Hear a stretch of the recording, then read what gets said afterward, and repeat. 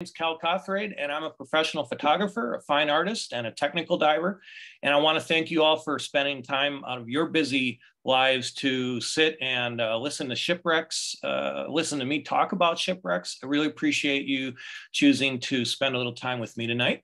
Um, I live in I lived in southeastern Wisconsin, uh, suburb of Milwaukee, actually, for all my life until last fall when my wife and I said enough with the snow and we left and we uh, moved to South Carolina. So I'm actually coming to you from South Carolina tonight, but I'd like you to think of me as a hometown local boy, okay? Uh, I've also spent the last two decades and nearly all of my disposable income traveling North America, photographing shipwrecks. It's really kind of an obsession slash passion. And uh, most of that, most of those were in the Great Lakes, but some were on the oceans as well.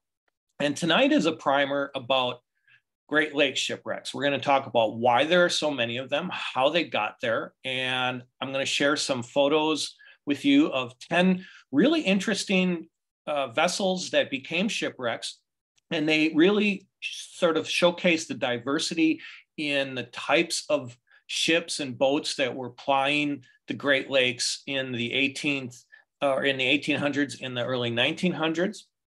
And then after we take a look at those 10 vessels in detail and what they look like today underwater, of course, um, then I'm going to hang around. I'm going to answer any questions that you've got at all about what we talked about tonight as far as Great Lakes or invasive species or shipwrecks or scuba diving or photography. Anything's fair game. And I just want you all to remember the only bad question is the one left unasked. So, with that being said, uh, we have a lot to cover. So, let's just dive in.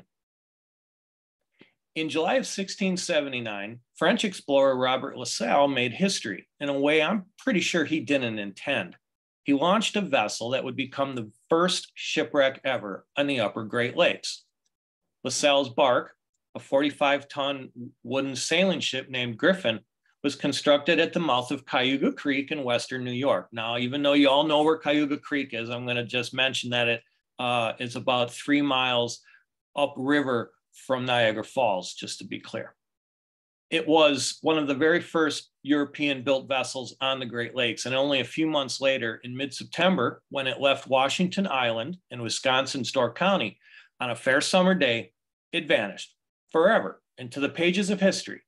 The vessel, along with its cargo of furs, crew of five, and five cannons, were never seen or heard from again. Now, the Griffin has yet to be positively identified or found, and it is generally considered to be the holy grail of Great Lakes shipwrecks. And though it was the first shipwreck on the upper Great Lakes, it sure wouldn't be the last. Since then, it's estimated that maybe as many as 6,000 vessels have made their way to the bottom of the lakes, collective body of water so large that they represent 21% of the Earth's fresh water. They have nicknames reflective of their size too, like the Big Five and Third Coast. They're really more inland seas than they are lakes. They're so massive, in fact, that they manufacture their own weather, and their storms can be as deadly to man and ship as anything on the world's oceans. So, traveling by boat on the Great Lakes certainly was not to be taken lightly 340 years ago during La Salle's time not 100 years ago, and certainly not today either. Maybe you're still pondering that number I just gave you a minute ago 6,000. Wow. Why are there so many wrecks? I mean, what's causing all these ships to sink? Is it some kind of weird, weird Bermuda Triangle thing up here in the Great Lakes?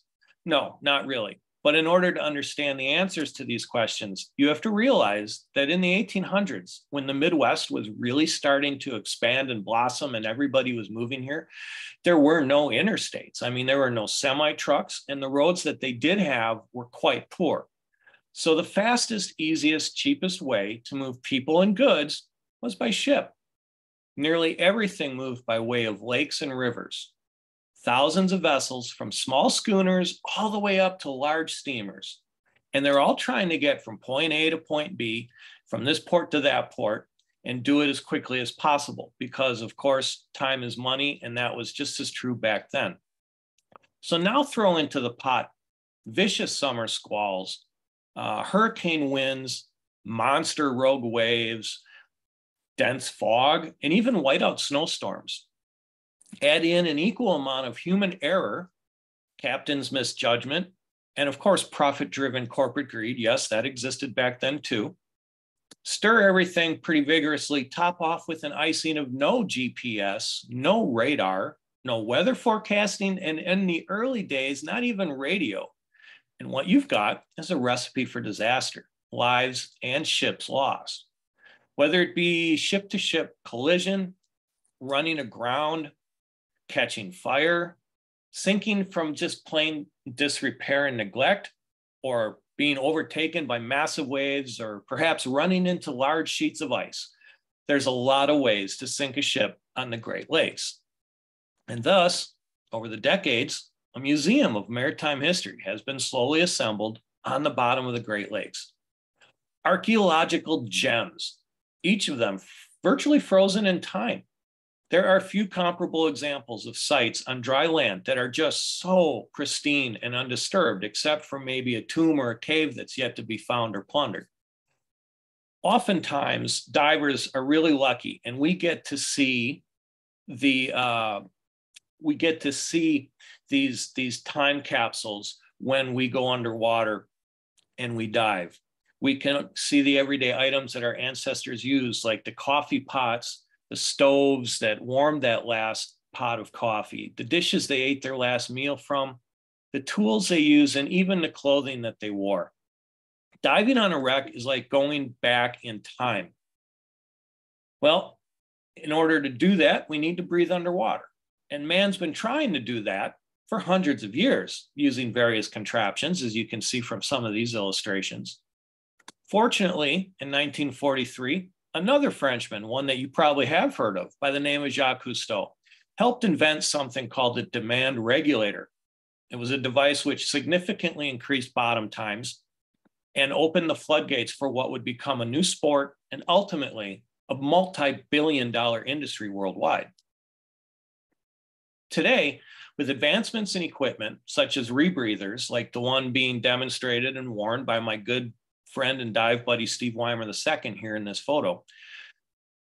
With the with the advance advancements in equipment such as that, uh, divers can now go safer, uh, can go deeper and and stay longer and do it safely than ever, more than ever before. Um, and it's just opened up even more depths of the water to uh, to divers. But photographing shipwrecks is one of my passions, and so one piece of equipment I almost never go diving without is my camera because uh, it, that that's just what I'm crazy about is is photographing shipwrecks and then showing those photos to folks like you. So now that we know why so many ships go to the bottom, we can take a look at some photos that, like I said before, really exemplify the diversity in all those different kinds of Great Lakes uh, vessels. And then at the same time, get to showcase some of their haunting beauty as they are today as shipwrecks. We're going to start off in Georgian Bay, which is a part of Lake Huron. It's all the same water, it's connected. They just call it Georgian Bay. And uh, we're going to talk about the steamer Manitou. Here's a nice picture of the Manitou. Now, after being laid up and put away for the winter, done with her, her shipping season, the passenger steamer Manitou was brought out of mothballs, put into service for one last run of the year to bring 100 plus head of cattle back to the mainland from Manitoulin Island. Less than 12, less than 12 hours into the trip home, the weather started to kick up and the ship with 21 souls aboard began to list or lean to one side. Within minutes, she rolled over onto her side completely and then very quickly slid below the waves stern first. And as she raced to the bottom, 210 feet below, the captain, some of the crew, and the owner of the cattle that brought the you know, the whole the whole reason for this final trip of the year were busy floating in a life raft freezing cold and wet for two and a half days before they got rescued. Apparently when they launched and got in their lifeboat the winds were blowing them east all the way across georgian bay and just before they made it to shore, the winds, oddly enough, switched around 180 degrees almost and blew them nearly back to the origin of the whole, where the whole ordeal began. So that's why they were in a lifeboat for two and a half days. Well, it's suspected that the herd of cattle broke loose from their pen, and all that shifting weight is what caused the vessel to sink in the first place, besides the storm. Now, before we look at the underwater photos, if you can see my cursor on the black and white photo, we're going to point out a few things on the, the ship that we're going to look at underwater, namely these four lifeboats that were stored up on top of these cabins here. Also, these square openings on the side of the vessel. Those were cargo hatches. They could load their bulk cargo in and out uh, very easily through those doors, and then they would button those up once they're underway. Also, she has a single smokestack here, and then this really cool round little uh, part of the structure here. It's called the pilot house. That's where the captain and the helmsman would have been standing and controlling the boat from. And also from the pilot house deck down to the weather deck is this beautiful staircase with railings. And uh, it's it's just amazing as a shipwreck that the, all that stuff is still there. As we can see in this photo, she's coming straight at us. This is 210 feet down in Lake uh, in Georgian Bay, and it's just it's it's phenomenal that the condition this thing is in. Uh, it sank in 1928, so it's been on the bottom for 96, 94 years, and um, the railings and the stairs are still there, and so is this wood pilot house and the, the cabins below.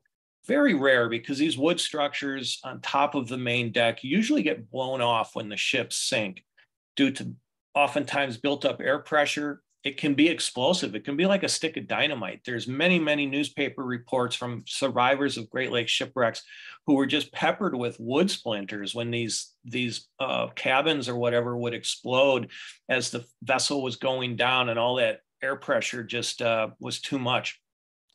So the fact that this is still here is maybe a testament to how well it was made, maybe a testament to uh, how slowly it sank, not exactly sure, possibly a, a, little bit of both, but it's still here and it's a rarity and we're, we're enjoying it. So walk up in your mind, walk up these steps, holding onto the railings with both hands, of course. And I want you to stand right in front of this front window and I want you to stand on your tippy toes and just peer over the ledge inside. And that's what you're going to see. There's the ship's wheel this beautiful um, helm is in perfect condition, not a spoke or a handle missing or out of place. Even a red and I want to say blue, like a dark blue, might be black. Uh, her paint is still in place. Um, and in front, right at the base of the window here is her compass. So if you were to wipe the silt off of this, you would see the compass in there. Now that you're up here, I want you to crawl through the window if you can and stand behind the wheel and think of yourself as the helmsman on this fateful voyage.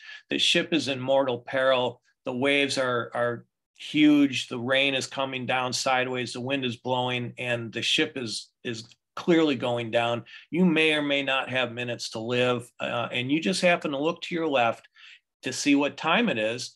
And um, there it is, the clock on the wall, still after nearly a century. Although the hands have rusted away, we can still see some rust stains on that white clock face, probably showing us where they might have been for decades. Um, these are the kind of details that we were talking about earlier about pristine, frozen in time kind of time capsules. Um, when a ship goes down, everything stops. And if nobody loots it or plunders it, it's still there for divers to look at.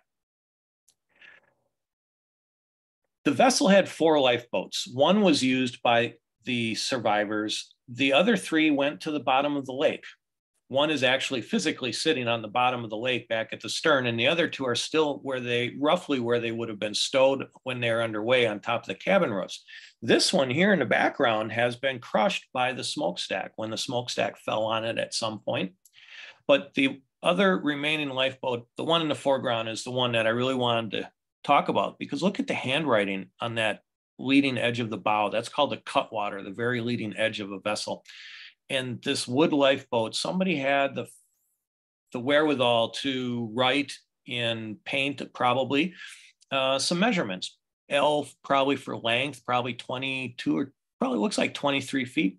B for beam, six and six foot six inches sounds about right. D for depth, two something, and then all these pesky little things here. These are quagga mussels. They're an invasive species and they're covering every everything, every almost every inch of everything. We're going to see a lot of quagga mussels tonight. We're going to talk about them later, but um, they're they're sort of obscuring what was also written there. I'm not sure what these other measurements would have been, but it was important to somebody to write that so that it was always readily available at a moment's notice. And there it is a century later for us to look at. Very cool.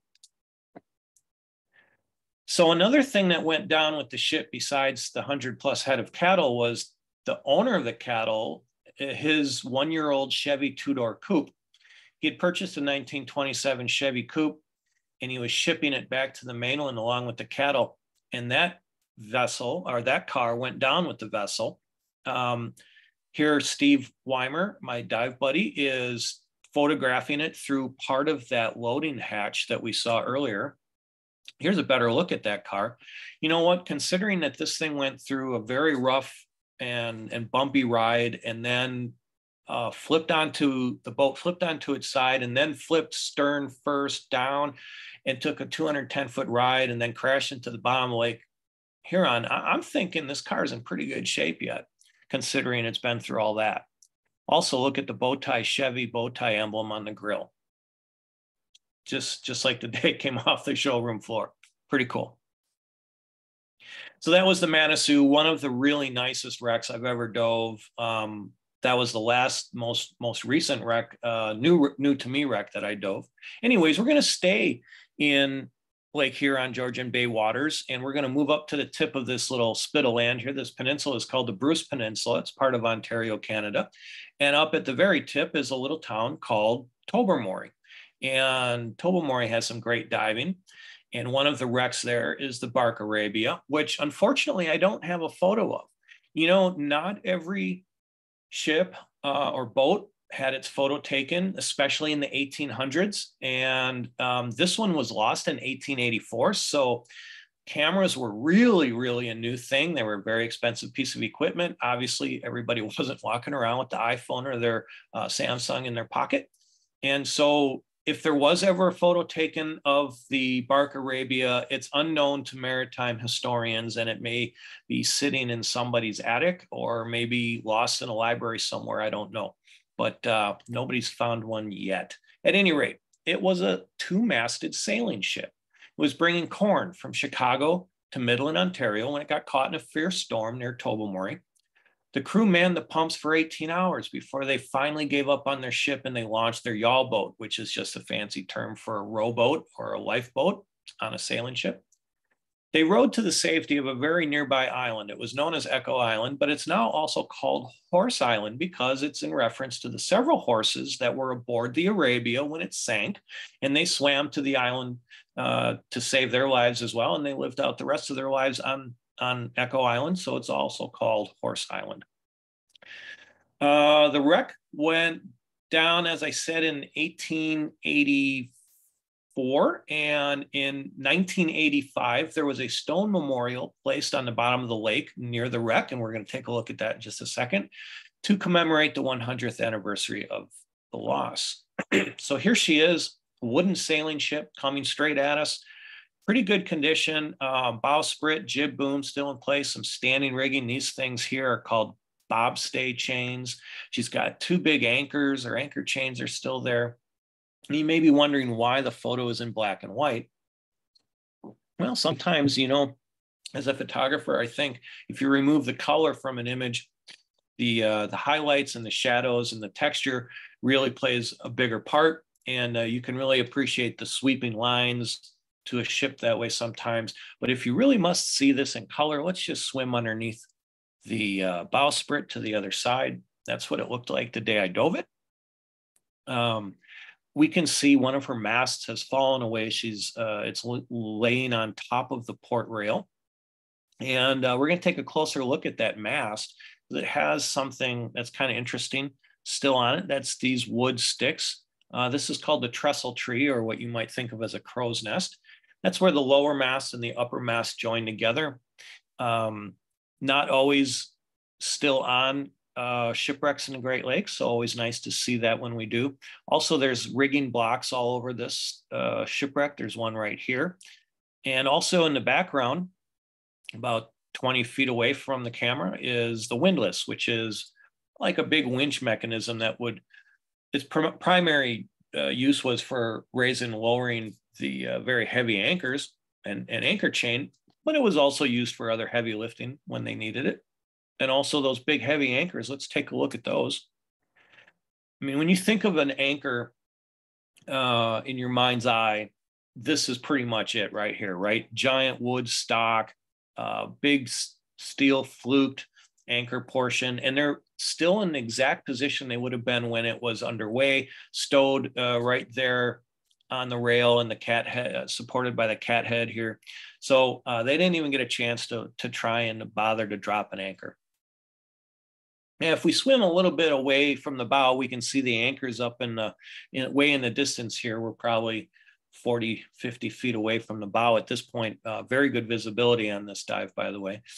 We've got this giant box, this wood box here in the right front part of our picture. That's a centerboard trunk. Uh, sailboats have, you know, that fin thing hanging on the bottom of the boat. Technically, it's either a uh, keel or it's a centerboard, depending on the type of boat. And if it if it can be swung up into this pocket, uh, then eh, you know winched up, then what that does is it allows the crew and the boat to get into maybe a shallower harbor or a little further up the river to get to that customer that the other big boats can't get because the water's not deep enough and they draw too much depth. Um, so this was a pretty common thing on schooners, uh, lake schooners during the during the uh, late 1800s, early 1900s.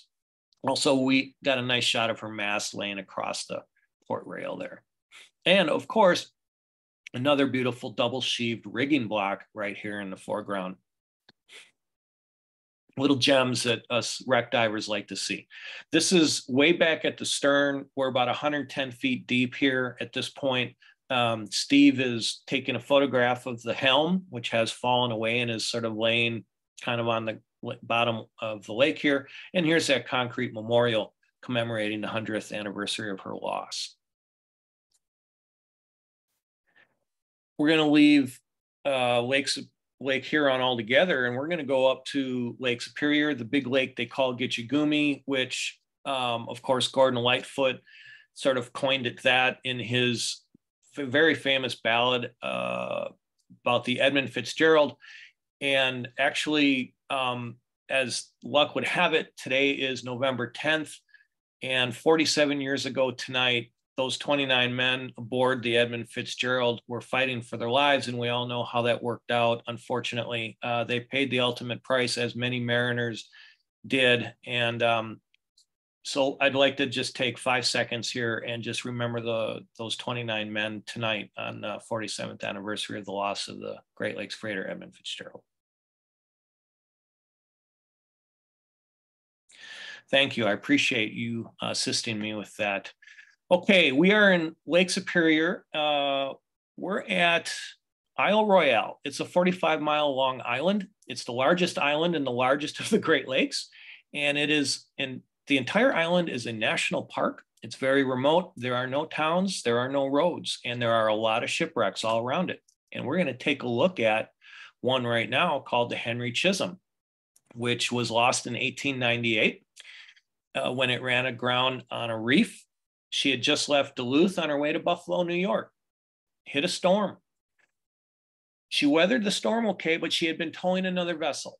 And they felt that they may not make it through the storm if they didn't cut the other vessel loose during the storm. So they cut that 220 foot boat that they were towing behind them loose and then after the storm passed, they spent two days motoring around trying to find it. And while they were doing that, they ran aground on a uh, rock reef called uh, at the, uh, it was near the Rock of Ages lighthouse.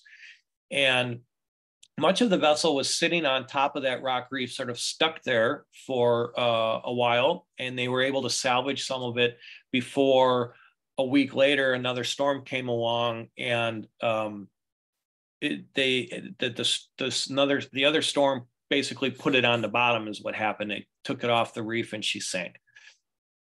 So we're going to take a look at the double expansion steam engine that powered this vessel. Even though you see sails here, this is a crossover. This is when they still weren't really very uh, willing to put any stock into steam powered boats, and they still wanted to have sails in case something happened to the engine, which this vessel, I'm sure, loaded down with 92,000 bushels of barley at the time of her sinking, would not have sailed very far under sail, but uh, that made them feel a little bit better. Very shortly after this time period, they did away with those sails altogether, and and obviously they started, you know, trusting the uh, the steam engines that were powering these vessels at the time. So, anyways, this vessel uh, set a lot of cargo capacity records during her 18-year career. And we're going to take a look at the engine, which would have been housed right back here, right now.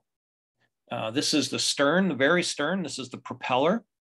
And this is about 140 feet down in Lake Superior. It's uh, on the bottom, of course, rocky bottom. And that propeller looks a little funny. If it does, then you are very perceptive and astute because it is not the way it should be. It's missing one and a half blades. And this is a direct result of the propeller turning as they ran into the rock reef. Rock reefs always trump ships uh, and propellers. So uh, my, my friend Scott is standing on the bottom of Lake Superior and he's showing you that there is a blade missing here and part of one missing here. And also how big it is. It's probably 10 or 12 foot diameter prop. There's that engine we were talking about. So this, this steam engine was really a monstrosity. It was three stories tall. It was as high as a three story house. Um, just a, a, large, massive cast iron behemoth with all kinds of exposed moving parts, not like the engine in your car, okay, where it's all closed and you can't see inside. This had an open architecture, and uh, it was that way because there was a whole host of men that needed to keep it functioning, keep it oiled, keep it lubed, make sure that things were tight, um, adjustments made so it always ran tip top shape. The propeller we just looked at would be way off the screen to the left. And this was the drive shaft that uh, at the bottom, the base of the engine that would power that. Now, if we swim up a little bit, get about 25, 30 feet up off the bottom of the lake, we can see that this thing is still going up towards the top. Um, like I said, 30 feet tall, just an amazing piece of, of machinery. And if you get up close to it, you can see that it is in fact metal because look at all the rusticles on it, it's rusting. But the other really interesting thing that I wanted to show you with this picture is this decorative sort of border and diamond inlays in the in the iron here. Um, folks, that is purely aesthetic. Uh, there is no structural or mechanical reason whatsoever for that to be there. This comes from a time when um, I think manufacturers of things took a little more pride in what they're building and money wasn't always necessarily the bottom line. I mean, they, you know, they they took pride in the fact that they made steam engines for, for, for ships and they put that in there so it looked nice. So kind of a cool thing here is a four image mosaic of that steam engine sitting three stories tall on the bottom of Lake Superior. I call these mosaics impossible images or impossible photos because uh, the water is just not clear enough to allow me to get far enough back away from it to take a picture like this all with one click and get the whole thing in frame because I'd be so far away that the the engine would just be this dark shadow kind of like blob in the distance. We wouldn't see any of these wonderful details in it. And so what I had to do is take four photos while I was much closer to the engine and then stitched them together into one photo in Photoshop by hand later after the trip was over and I was back home in my office. So um, this is sort of one of my specialties. I love doing mosaics and um, and we're going to look at a few more of these tonight, but that's why I call it the impossible image. Okay, we're going to stay in Lake Superior. I'm going to go to the other side of Isle Royale, take a look at a completely different type of vessel than what we've looked at so far, which is the Chester Congdon. It was what we think of like the Edmund Fitzgerald, a big, huge modern freighter. Now, the Fitzgerald was 729 feet long. This was only 532 feet, so it was a little bit shorter, but uh, for all intents and purposes, this is what we think of as a modern steel freighter. And um, Congdon was on the lakes for 11 years before she ran aground uh, when she was in dense fog at Canoe Rocks. And she was carrying 380,000 bushels of wheat from Thunder Bay, Ontario. So that's more than four times the cargo of the vessel we just looked at. That's a lot of stuff that this big freighter could, could carry. Two days after she was grounded on the reef, a storm came along, tore her in two, and she sank. And um, this wreck was the first on Lake Superior to be valued at over a million dollars. So I want you to pay special attention to this, the bow here. This is the part of the shipwreck that we're going to look at right now. Um, this is my little animation of what happened when the storm came along, ripped the head clean off, spun 180 degrees around and slid back down the reef, sitting there on a, a steep upward angle, looking back up to the top, wondering where the rest of its body went as it slid down the other side of the reef. Now you can actually stand on these rocks in the middle of Lake Superior. So um, these reefs are a real danger up there. And as we sort of alluded to, I am not drunk. My camera, I, I'm holding it straight and level, guys. I promise this is the angle that it is looking up the reef at. Another mosaic image while I was on the bottom of, uh, this is about uh, 100 feet deep here. And we're looking at the back of the bow and it's pointing up the reef.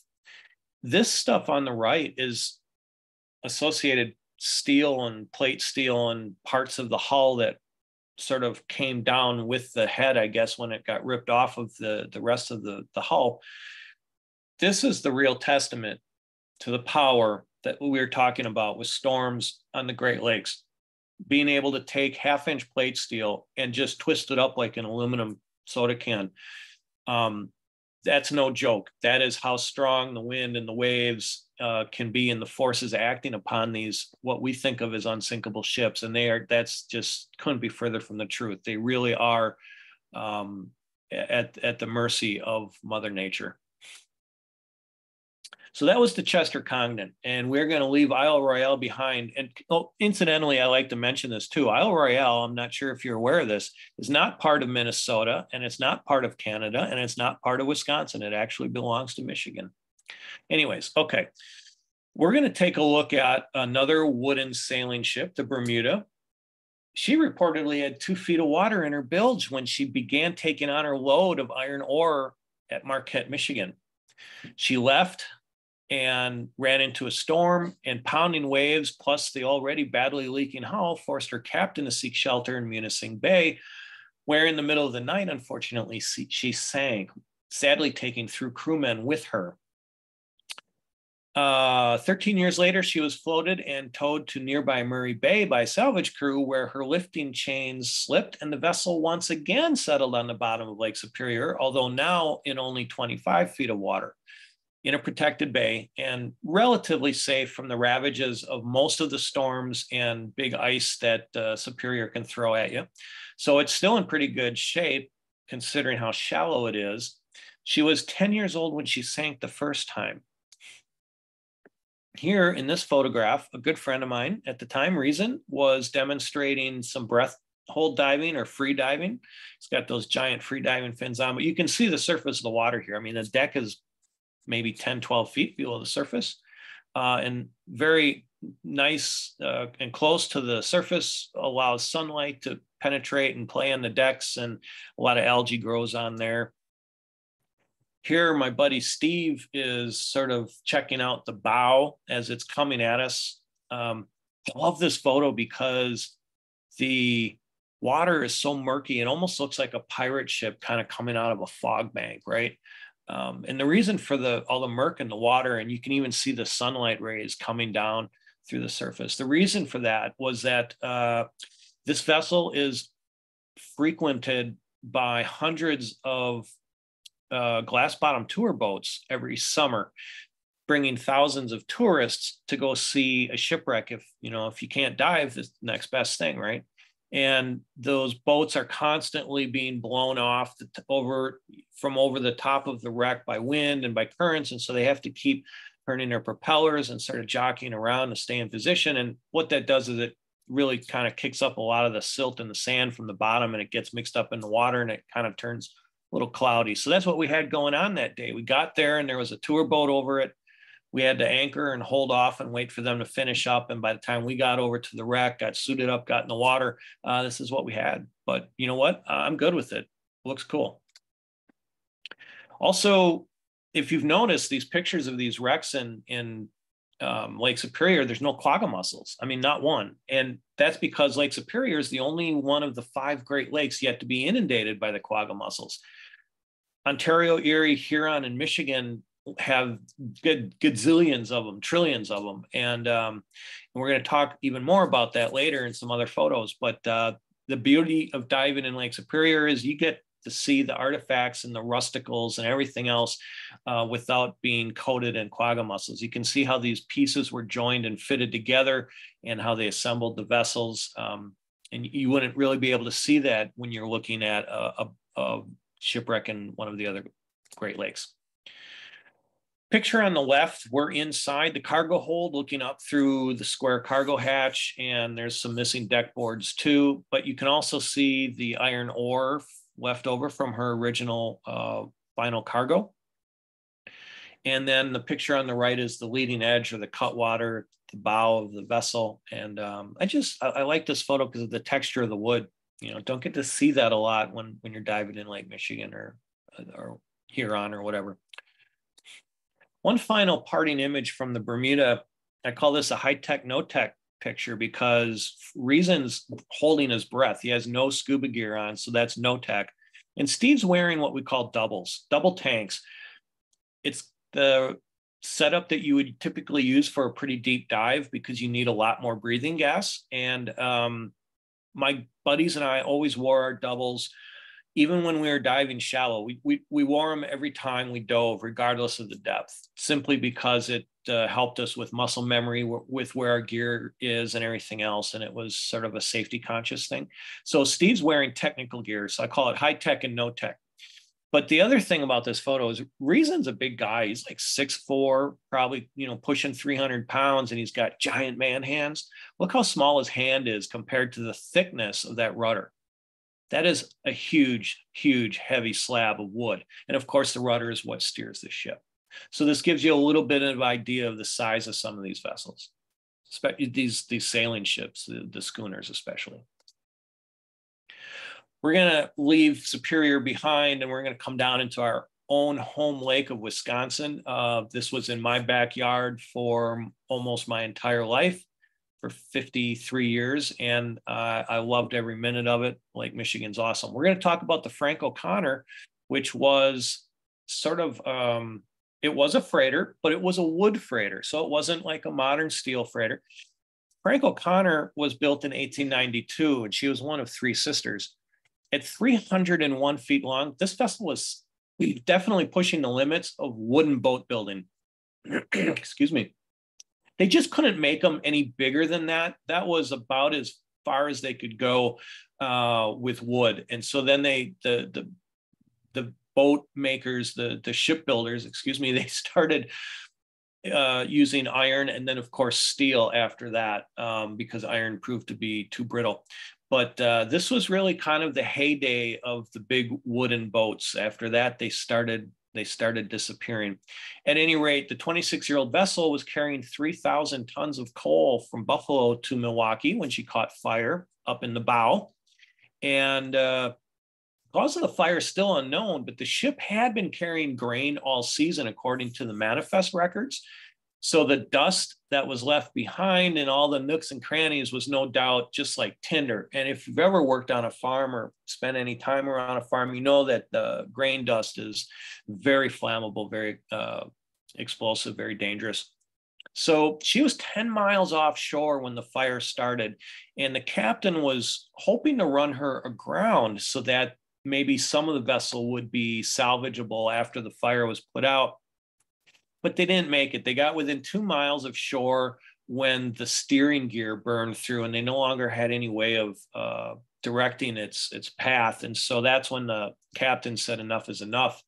called abandoned ship. They took to their lifeboats and they started rowing away. Well, the lighthouse keeper from nearby Cana Island Lighthouse saw this uh, this burning inferno. Think of all that wood, right? 300 feet of wood, and and he he went out there in his motorboat and he started hooking up to the the, the lifeboats and pulling these guys who were just rowing by hand to get them away from the burning hulk faster because I'm sure the heat coming off of this thing must have been just staggering.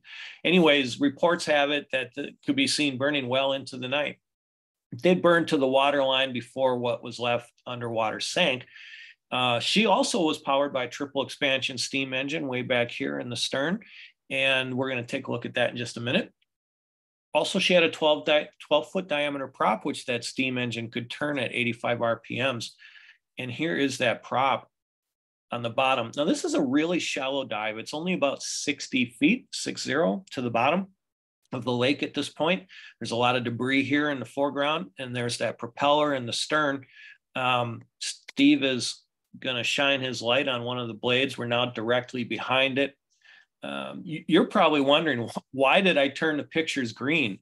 Well, I didn't. That's how it looked the day we dove. Uh, probably a, a, pretty healthy algae bloom going on in the water, and it was really fun. It was it was like diving in the Emerald Sea up in British Columbia, which I've actually done, and the water is green. Um, but yeah, this this is uh, just the way it looked.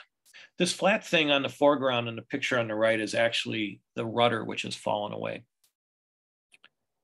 There's that triple expansion steam engine, also about 25, 30 feet tall. So reaches almost halfway to the surface or, or probably, you know, halfway.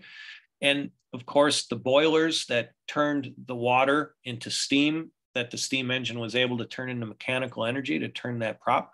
She had two of them, and here they are. We had pretty good visibility on this day, um, even though the water was green, probably 40 feet of visibility or so. So that's not too bad. And if you make the swim all the way up to the bow, we we we anchored and went in at the stern. So we had a football length field swim up to the bow and then the same swim back to get back to our our anchor line. Uh, but if you if you know we we made the swim and if one does that, you're rewarded with a large pile of anchor chain and a very large anchor. Not a wood stock anchor. This is a metal stock on the end of the anchor here, but it still has those nice big flukes. We're going to come on down the coast just a little bit, get out of Door County. We're going to go off of Two Rivers, Wisconsin, for probably what I think is the most famous shipwreck in Lake Michigan.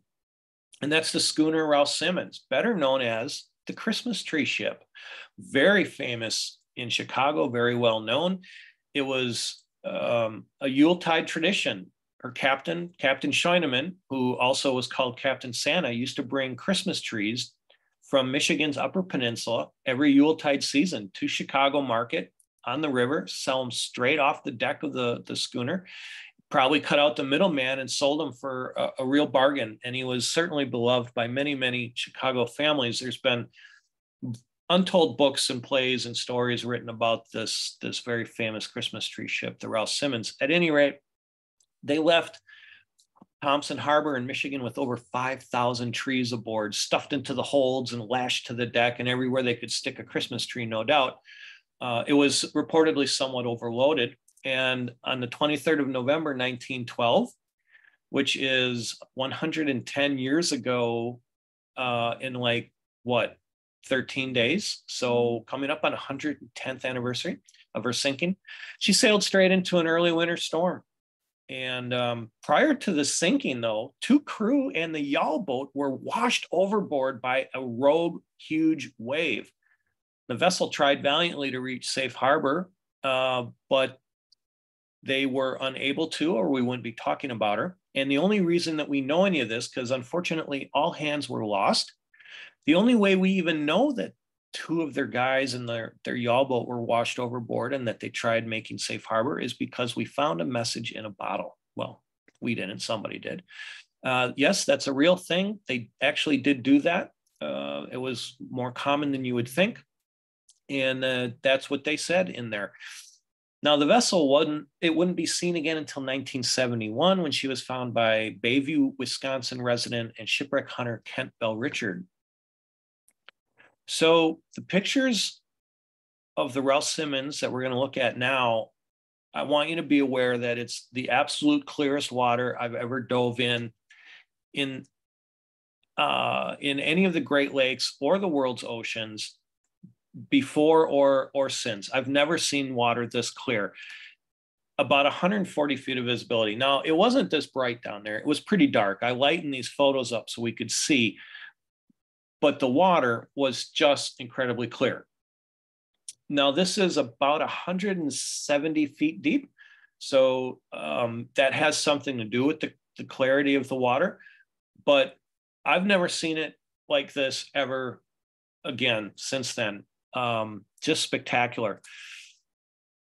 We're up at the bow here, the pointy end, as I like to call it. Here's her windlass and some anchor chain wrapped around there. Um, if you ever want to see one of her absolutely massive anchors, if you're in Milwaukee at the Milwaukee Yacht Club downtown on the lakefront, just north of Summerfest grounds, it's right out in the front yard by their front door. Um, it, it's just massive. It's really a cool anchor. Anyways, we can still see the remnants of some of those Christmas trees in the cargo hold here after all these years. Pretty crazy. Another shot of the windlass and the bow. Here we're way, way out in front of the wreck.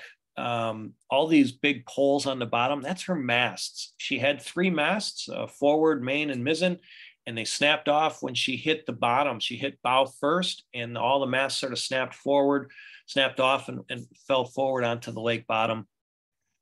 The other thing of note in this photograph is those pesky quagga mussels that we're going to keep talking about. Okay, if you see all these white, really clean, bright areas on the bottom, that's the natural bottom of Lake Michigan in this part of the lake. It's a mixture of sand and clay.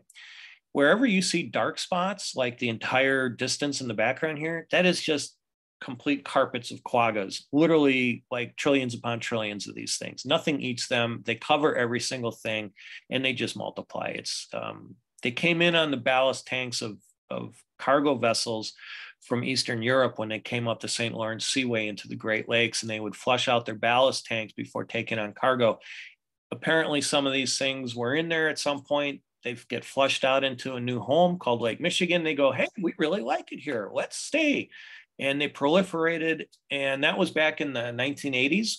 And um, they are actually, I guess, good for something. They're the reason the water is this clear.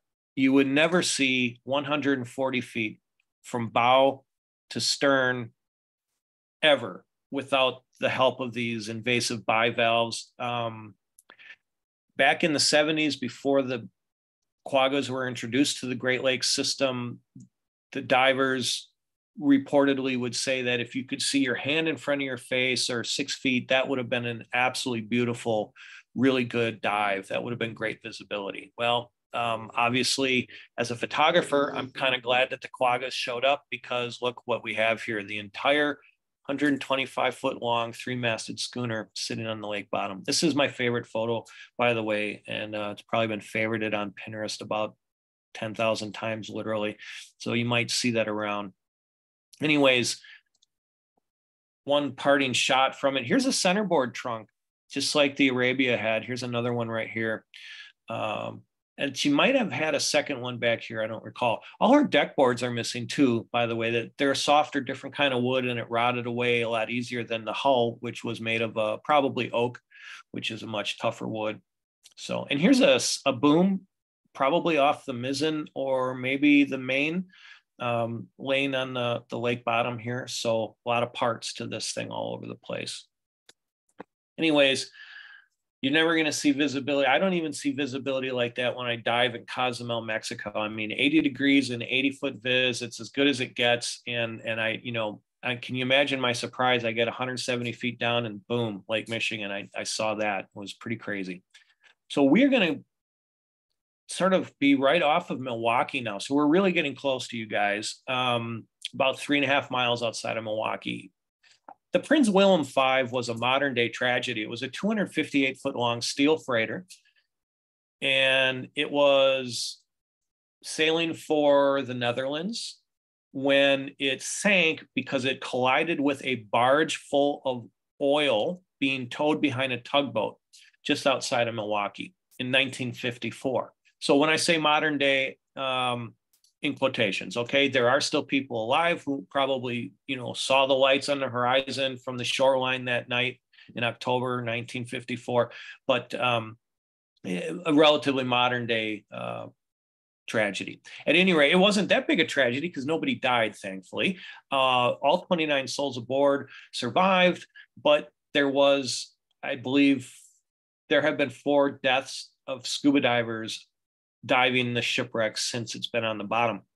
Now, the other interesting thing, speaking of being on the bottom, this wasn't the first time this vessel went to the bottom of a body of water. It actually sank in uh, Rotterdam Harbor in the Netherlands in 1944, I think, when it, it, was still under construction when the Germans invaded the Netherlands and uh, they sort of took possession of it and they never got a chance to finish it. And then when the Allies um, started liberating Europe and taking back the Netherlands, the German army retreated, they dynamited the unfinished Prince Wilhelm V, put it on the bottom of Rotterdam Harbor, hoping to blockade the waterway and aid in their escape. This was a five-year-old vessel. It was her 25th trip to the region. All she did was sail back and forth between Europe and the Midwest through the Great Lakes. That's all. That was her job. So relatively young vessel. Here she is coming straight at us. Again, I'm holding my camera straight, I promise. She's just leaning over on her right side that far. Um, great visibility, 80 feet or so, I'd say. This is one of her two loading masts, uh, a mast that would have booms and cranes on it, and they could load their bulk cargo in through the cargo hatches. Again, these quagga mussels just covering everything. It was also the that was that last photo was my very first ever magazine cover, so I'm very proud of that. And it was a three image mosaic as well. Anyways, here's the bow. We're a few feet uh, away from the bow now, but we're still up at the bow. And there's that mass that we saw earlier, sort of leaning out over the sand. I want you to take a look at this dark shape here on the right hand side. That's about a six foot high cliff that's created from water currents moving around the, the, sunken vessel and carving out the clay and sand bottom of Lake Michigan. And it kind of just keeps getting a little deeper, a little deeper. It just keeps settling in. The hull just keeps on going and into the into the sand and the clay here, underneath the sand and clay. So um, we're going to see that again in another photo. We're about halfway towards the we're at the middle of the ship, I guess, and this is the pilot house. This is where the captain was not standing when it struck the towed barge. Uh, he should have been on the bridge. They had just left Milwaukee's harbor. They were about two miles out. It was dark. It was October. There were five to six foot waves. And believe it or not, they did not even have their radar turned on. So keep in mind, this is 1954. Things were a little different back then. Safety protocols weren't such a big deal.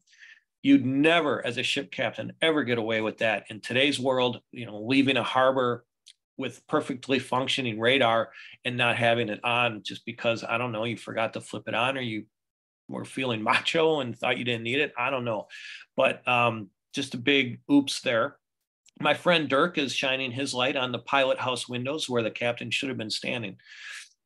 So this really does show that 70 degree angle that it's sitting on its right side, but we're gonna swim with Dirk underneath and behind the smokestack, which is this big block on top of the cabin roof here. And we're gonna go underneath and behind that. See, there's that smokestack on the right.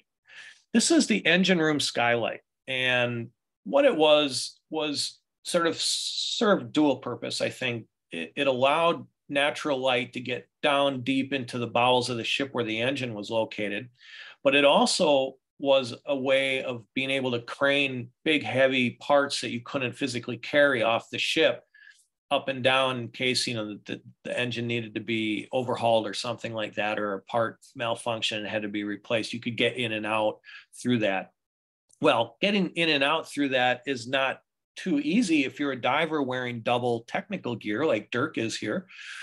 But if you're wearing a single scuba tank, you can actually squeeze through one of these openings. And Brian and I did that on another dive. And we sort of made our way down about three decks into the bowels of the ship. Now, because it's on its side, making our way down through three decks meant that we were actually kind of swimming horizontally, if you think of it that way, but we were moving down in decks in the ship.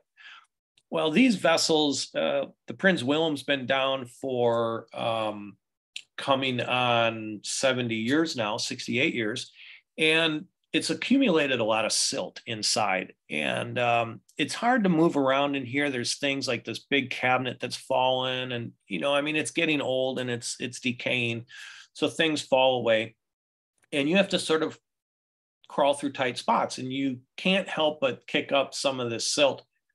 And the big this this silt is it just when there's no current it just keeps big getting into like a big mushroom cloud and it just gets bigger and bigger and bigger until it, it envelops everything and you can't see anything. So that's one reason why diving inside shipwrecks is very hazardous but about three seconds after i snapped this photo a huge cloud that we had been sort of dragging with us as we were crawling down to get to this point to do this photo shoot sort of caught up with us and then it enveloped Brian and I, and the photo shoot was over, and we had to get out of there. But this is the top of the engine. These are the five cylinders. It was a five cylinder diesel, and that's the size of those cylinder heads, just ma- massive. Pardon me. Here we are inside of one of our four cargo holds, and Brian is swimming over the top of some 55 gallon drums, were, which were part of the original cargo when she sank in 54 excuse me, uh, right, yes, 54. This, we're, we're looking out of an opening here in the deck. It's 20 foot square by 20 foot. And uh, here's one of those clay cliffs, sort of the lake bottom that uh, the, the water currents keep carving out. The most impossible photo I've ever put together, actually, I'm most proud of this of any photo I think I've ever taken, took 55 individual still photographs stitched together by hand in Photoshop, about 40 hours worth of work to make this image happen. It's the only image in existence of the 258 foot freighter in its entirety sitting on the bottom of Lake Michigan.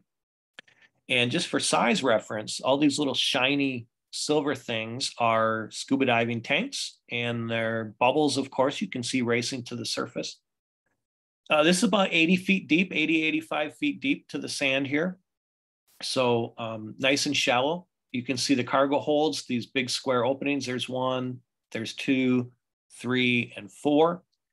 The smokestack that we looked at earlier, the engine room skylight window, and also the pilot house was right underneath here. And of course, our two loading masts coming straight at us. So really love that. Um, I've been on this shipwreck oh, I probably dove it 60 times or more in my life. Um, it was sort of our hometown wreck and uh, sometimes dove it twice a week. it was a lot of fun. The St. Albans is a little bit older than the Prince, uh, Prins Willem. St. Albans was a small wooden steamer and it would ferry people and package goods back and forth between Wisconsin and Michigan. That's what its job was that 80 mile trip one way back and forth between Wisconsin and Michigan. And um, January of 1881, she was leaving Milwaukee, headed for Michigan, wasn't too far out, rammed into some ice and put a big hole in the bow. Water starts flooding in, of course. They know this, they, they're aware of it. So they turn around, they try to make it back to port, but you guessed it, we're talking about it. So they didn't make it. Um, they I think there was, yes, 27 people aboard. Now, everybody survived the ordeal, thankfully, by rowing their lifeboats to shore. They were 15 miles out. Okay, put that math together in your head 15 miles worth of rowing a big, heavy lifeboat. That must have been an ordeal in itself. But at any rate, they were alive. Uh, so, unfortunately, there was a cow and a calf aboard this vessel when it sank, and they perished when they were unable to launch their own lifeboat because they had hooves and not thumbs. Ouch, little dark diver humor there. Okay, I'm sorry. Don't throw fruit. Anyways, here she is coming straight at us. On the bottom of Lake Michigan, about 165 feet deep. Again, there's some correlation to the better viz and the depth. The bow is a little broke up. She's kind of been uh, separated from the rest of the hull, which is receding away into the mist in the background. And Steve is swimming up the port side, shining his light. But the other thing that you should take note of is the debris field and we have incredible visibility on this dive. But look at all the stuff. Here's her mast lying right here, and there's some wall panels, um, just stuff everywhere. Here's her uh, windlass, if, if you want to think of it as that. Now, as a photographer of shipwrecks, typically there are two uh, points on a shipwreck that are most often going to give you the best bang for your buck, the most interest. And that's going to be the bow and the stern. I like to call it the pointy end and the round end. And we were just at the pointy end. Now we're at the round end. This is the stern, and we're looking forward. So the bow is off in the distance now. Steve's about ready to swim over one of the parts to the smokestack. And uh, again, the debris field, it's just extensive. I don't know that I've ever dove a wreck that had a bigger debris field than the St. Albans when I stopped to think about it. Anyways, it was a steam engine powered vessel as well. Here's the steam engine and other assorted equipment uh, that went along with that. This big winch thing on the rear deck, that was called a capstan. That was probably used to raise and lower the stern anchor when they needed to, or pull in mooring lines, or do any kind of other heavy lifting. It probably would have been steam operated, so it would have been a nice big power winch. Two of my favorite photos the bow and the stern. Um, the one on the left is is absolutely my favorite my favorite image of this vessel, uh, just because of the, the, the incredible visibility we had. The one on the right, Steve shining his light on the propeller and the rudder. And uh, I'm just going to go backwards just for a moment. If you take a look at the edge of my point cursor pointer there, there's a like a white dot that's Steve's camera, which he laid on the deck when he came down the line and realized when he turned it on that the batteries were dead. He never charged the batteries the night before. So rather than push a big heavy camera around underwater, he just left it there so he'd pick it up on the way back when we were done with our dive, which meant that he was dedicated to being my sole dive model for the whole night, not just taking pictures uh, of the vessel too. So that was good. It worked out great for me. And he was pretty upset because we had such good visibility and he missed out. He's a great photographer, by the way, too, on his own right. Last one for the night, folks. This is the Car Ferry Milwaukee. This is about seven miles north of the city of Milwaukee. It's off of Fox Point. It was lost on October 22nd, 1929, um, just a week before the financial tempest that ushered the nation into the Great Depression, which, of course, a storm of a different kind sent the Car Ferry Milwaukee to the bottom of the lake while it was attempting to leave Milwaukee and go to Grand Haven, Michigan. That was its job, go back and forth between Milwaukee and Grand Haven, carrying railroad cars. When I say car ferry, I mean railroad box cars, not, not automobiles.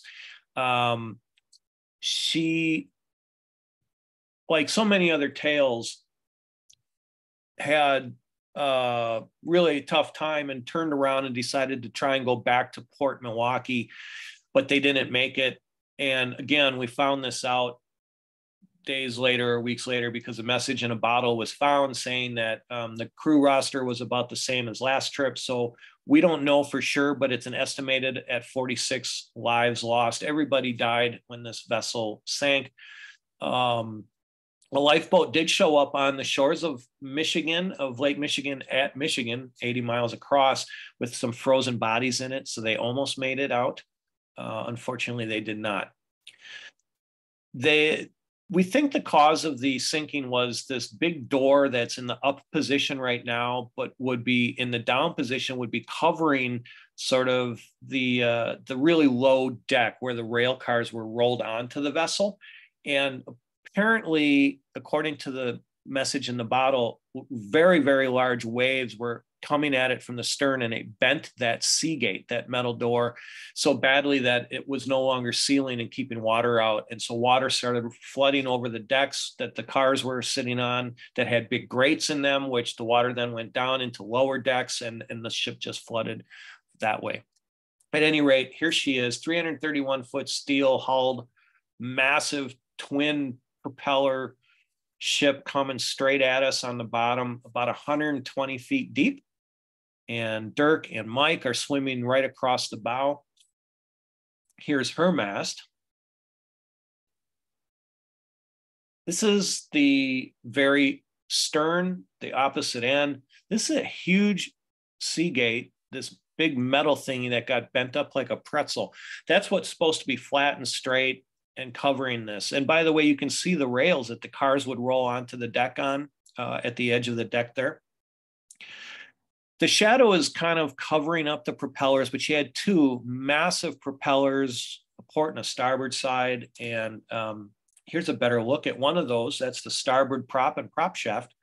And Brian is shining his light on the prop shaft, showing you that 12 foot diameter propeller the reason I love this photo so much is because this was a place I always tried to go to whenever I dove this wreck. I've probably been on this wreck 20 or 25 times in my life. Um, it's sitting on top of a railroad car truck. Now, a truck is a wheel set. That's those wheels that the box cars sit on top of. They weren't permanently attached. If you craned, if you took a crane and picked the box car up, the wheels would still sit on the rails.